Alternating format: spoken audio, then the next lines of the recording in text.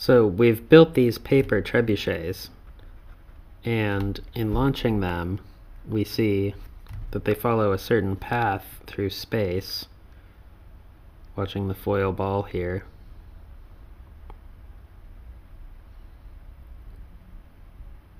And it hit just the edge of the table there. Let's watch that again. And what we want to know is if the projectile travels a distance d and it rises to a distance h vertically, how can we describe that with an equation?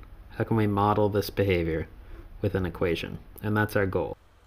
So we're talking about motion of a projectile that we've launched, say, from our catapult, and we know that that projectile motion is going to have this kind of shape. Goes up, curves, and comes down, and it lands some distance away from the point where we launched it. So we are going to give some names to some points here. It's up to us to give a name to the point where we launch a projectile, and the simplest place to call it is x equals 0, y equals 0. So we're locating the launch site at the origin of our coordinate system, 0, 0. Now we know the particle comes up, reaches some apex, and comes back down. And we're going to call the distance that it lands away from there d. So this distance right here is d, and we're going to call the height that the particle reaches, the maximum height, h. So we know the particle has traveled horizontally a distance d, and the highest distance it reached was h, and this parabolic motion that we're talking about, the most basic kind of flight path, is symmetric about this line where I've marked the h. So what fraction of d do we know this is? when we've traveled from 0 to this point where we got the highest point. What fraction of d? It's half of d. So I know this point right here, if I give it some coordinates, what's the x coordinate and the y coordinate? Well, the y coordinate, we gave it a name. It's called h, and the x coordinate is half of d. It's traveled halfway to the place it's going, and the full distance is d, and if it comes back down to the ground, it starts at 0, comes up, comes back down. The y coordinate here is 0. Let's label these axes. So this is x, and this is y. Graph is not complete if it doesn't have labeled axes. Don't forget that. So let's see. What do I know about this function? Well, I see it's curved. So this is not going to be one of these y equals mx plus b kind of functions. It cannot be a linear function. But I know it's something that's going to get bigger as I get further from 0, and then it's going to get smaller as it gets closer to d, and I happen to know that it's going to depend on x squared. It's going to be a parabolic kind of function or a quadratic function. So let's, uh, let's start with some things we know about the function. We know it's tied to two points, the points x equals 0 and x equals d, those are points where the function is equal to 0. So I know this function, y is a function of x, is going to be proportional to, I'm going to use this capital A as a constant of proportionality, it's going to be proportional to two factors of x, and here's why I know that.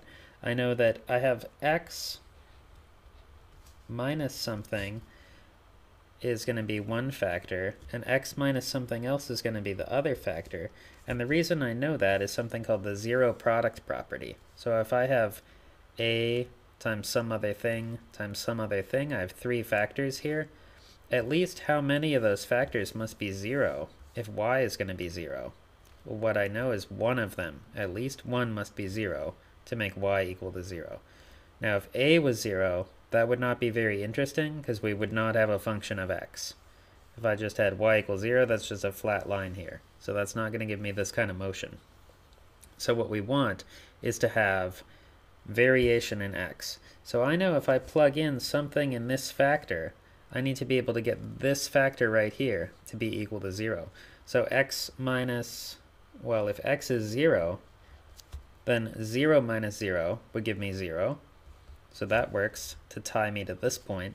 and then x minus something else needs to give me 0. Well, when x is d, d minus d would give me 0. x is d minus d gives me 0. So I know my function needs to look like this. So we could simplify that, uh, get rid of at least some of those parentheses. I know this is going to look like an a times x minus 0.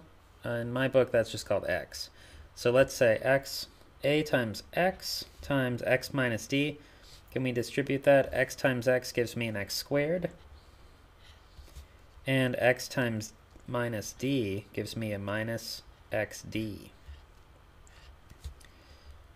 So what do we know now? Well, we know that uh, at a certain point here, the height, we haven't used this yet, uh, is going to be h. So let's go back a step. I think this will be maybe easier. If we just look at this first form, I know when I come to the value x equals d over 2, that's when I'm going to have y equal to h. So y will be h when x is equal to d over 2. So h is going to equal a, I'm coming down here from this equation, x is going to be d over 2. d over 2 minus 0, that's just d over 2. And what if, what if I have d over 2 minus d? Well, that's just going to be minus d over 2. I know if I take some number and uh, subtract twice that number from itself, I'm going to get minus the number. So that's what we're doing here. So I see that h, the relationship I'm talking about is that h is equal to a times d times d times minus 1. That's going to be a minus d squared and in my denominator I have a 2 times 2, so over 4. So h is going to be a times negative d squared over 4. So what does that mean a has to equal? Well, solving for a, I see that it must equal 4h over d squared and be negative. Now, does that make sense that we're going to have a negative value for our leading coefficient in this quadratic? Well, we already saw that the when we have a quadratic in standard form, notice we're using a lowercase a here, ax squared plus bx plus c. Uh, this a needs to be negative if I'm going to have a frown or umbrella type instead of a, a cereal bowl or a smile type parabola. So it's good that this turned out negative. So what does this tell us? Let's go back to this function here and plug in what we know. I know that y is going to equal a, plugging in what I found for a here. That's minus 4h over d squared times x times x minus d, or we could just go straight to this expression, x squared minus dx. So let's do that. We have x squared minus dx, and we need to distribute that a over both of those values. So this is going to give us a minus 4h over d squared, just distributing, times x squared, and I see 1d is going to cancel, and my minus and minus is going to give me a plus. So I'm going to have plus 4hx over just one factor of d.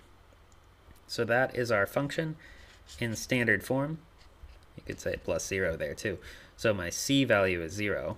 My a value is minus 4h over d squared, and my b value is 4h over d. So let's check that these have the right dimension. I know that if this is a height, the height y, each of these terms needs to have a value of length. So here I have x squared and d squared. Those are going to cancel because d is a length. And I'm left with h, so that gives me just a value of length. Here I have two factors of length, h and x in the numerator, divided by one factor. That also checks out and gives me a length. And 0 here, that uh, could be a length. Makes sense. So this checks out. So this is how we get a standard form. This is a certain kind of vertex form because the point that we gave this is called the vertex of the parabola and it is d over 2 comma h and this is how we get a parabola that has two x-intercepts at 0 and d and the vertex at that point that we specified. So in our next video what we're going to see is that this leading coefficient that determines how curved this is is going to be related to gravity because you can imagine if gravity was stronger this thing would be more curved and it wouldn't go as far. And it's also related to how fast we launch the projectile. So if I launch this thing faster it might go further than this. So this leading coefficient will depend on both gravity and the velocity and we'll also see a similar kind of dependence in this linear coefficient too. So check out the next video and we'll explain where those terms come from physically to give the h and the d that we want to know.